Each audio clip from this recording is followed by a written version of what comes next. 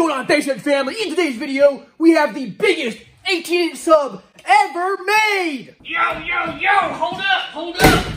Got new stuff from Big Jeff for you to review on the channel! What? Yo, I'm in the middle of a video. No, man, you gotta get yourself a review on this thing while it's popping. Oh, okay, alright, alright, we'll do it, we'll do it. Stay tuned to see the biggest 18 sub ever next time. Here you go, here you go. Okay, okay, this is pretty cool. What did you say this was? This is the Black Diamond Audio DIA R12 series uh, subwoofer. Of course, dual 4 ohm. Oh, interesting. Yeah, let's check this guy out. Yo, and as always, tell Big Jeff thank you for dropping off some new stuff to review on the channel. You have fun with that, man. See what she can take, see what she can do. I gotta run back to old Florida to help out Mr. Big Jeff grab you something else. Y'all, if you want to see me again on this here channel with another cool sub, this video better get at least a thousand likes. If it does, I'll be back. Okay, guys, he's kind of a character, but hey, as long as he's bringing me subs to review, I guess I ain't gonna be too mad at it. Let's see what we got here.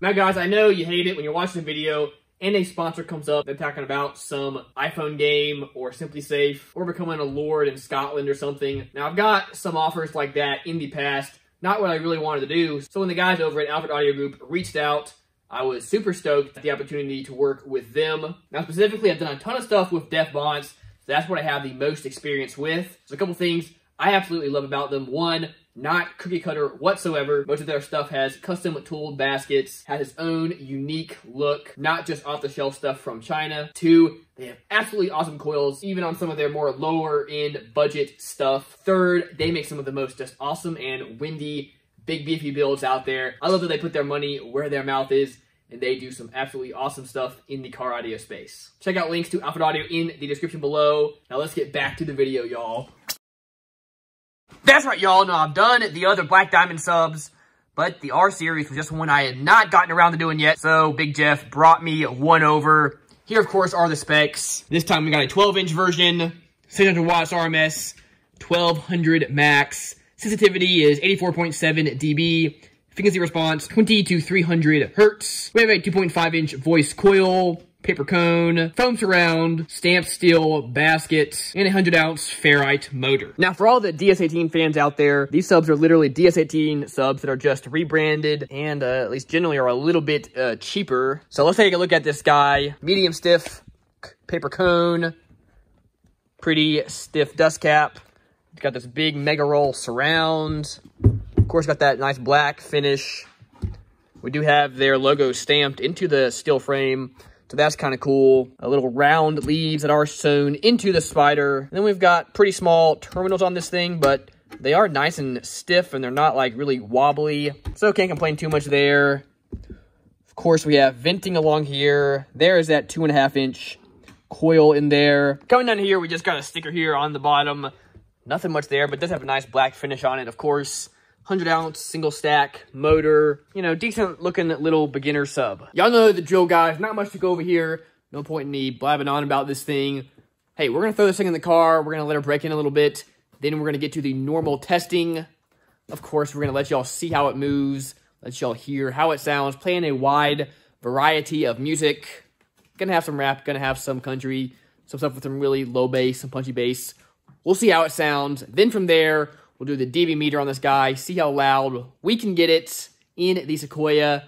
And then, of course, we'll do the RMS test on this thing and see if that 600 watts is really an accurate rating or not. Let's get into it, y'all.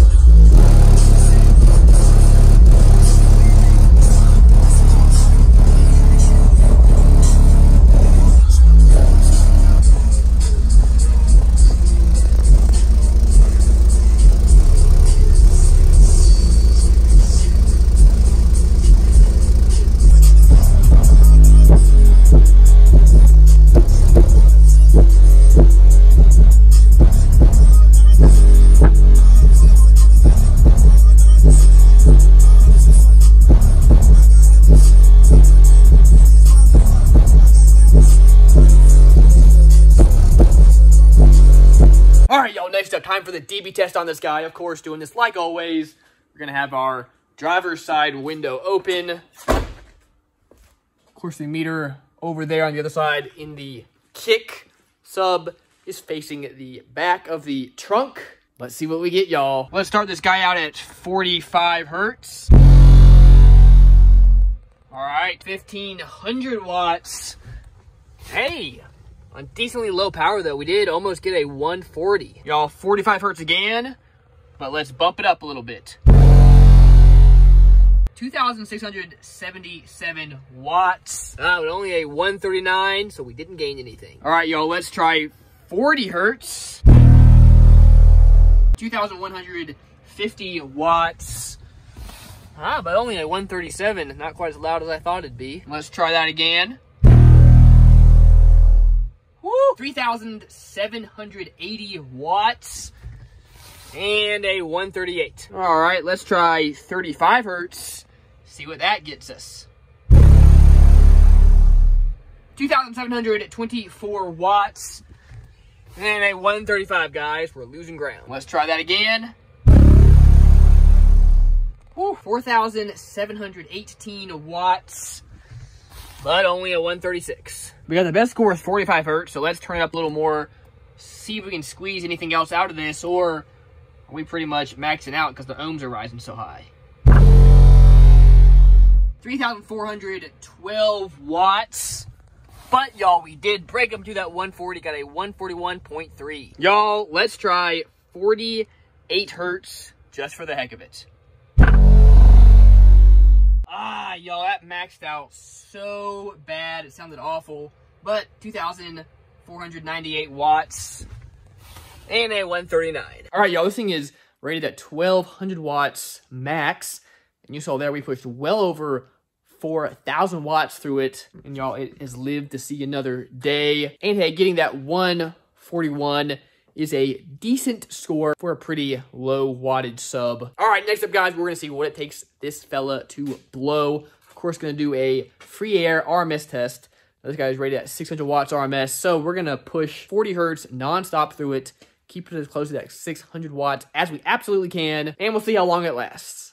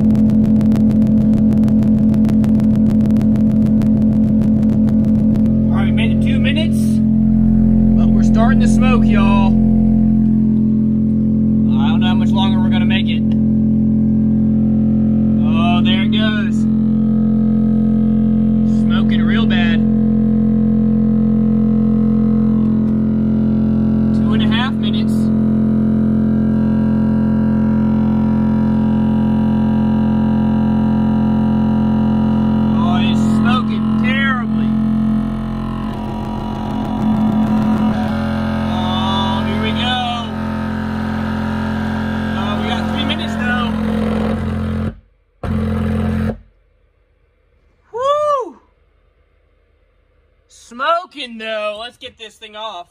And of course, car's all synced up. Every time I do this, guys, just leaves that burnt coil smell in the car for like forever, which is just, ugh. But anyway, hey, she went, so let's pop it open, see what the damage is. First, I wanted to test the coil out, so I pulled out the multimeter, both of them reading at like 3.8, so the coil itself was not completely blown. Here it is, guys. Oh, that thing was about to let loose and just unwind. So you can see all those bubbles of where the glue was just melting away. Anyway, yeah, I got that coil just not up to the task. All right, guys, technically, hey, we made it to the three minute mark before it just actually quit working. That being said, a little after the two minute mark is when it started sounding really, really bad. What that is, is as that glue starts to melt, it starts to smoke off. Everything gets kind of loose, starts rubbing inside there. And at that point, your sub is pretty much useless. So in my opinion, guys, hey, probably, probably 600 watts RMS, totally a fine rating for playing music, but it does not pass my brutal RMS test. That being said, y'all, at least as of the time that I'm filming this, this guy's only 109 bucks over on Big Jeff Audio's website. Same for Amazon, places like that. So I say, for a super cheap sub, It actually sounded fine. It took it took the power burst, no problem. And when you put that into perspective, yeah, 600 watts. It actually lasted a pretty decent time. So overall, for my opinion, guys, for that 109 bucks, this guy is right on par with what I would totally would expect any other sub in his price point to do. So I got nothing to knock it on. It's a good little sub for the cost. Well, y'all, that's gonna do it for this video. Once again, huge shout out to Big Jeff and Black Diamond for sending me this sub to test out and review for y'all on the channel. Of course, link to Big Jeff in the description below if you want to go pick this guy up. They have great customer service. They ship out stuff super, super fast. So again, it's huge thank you to him. All right, that's gonna do it for this video. Thank you for next time. But remember, as always, guys, keep basing on. What's happening, fellas? Lil J here, over on the Parker the Basshead channel. If you like bass, if you like some loud tunes, some shaking windows, some earthquakes beating down the block, then you need to subscribe to this here channel, and of course, go like the Facebook page. Thank y'all.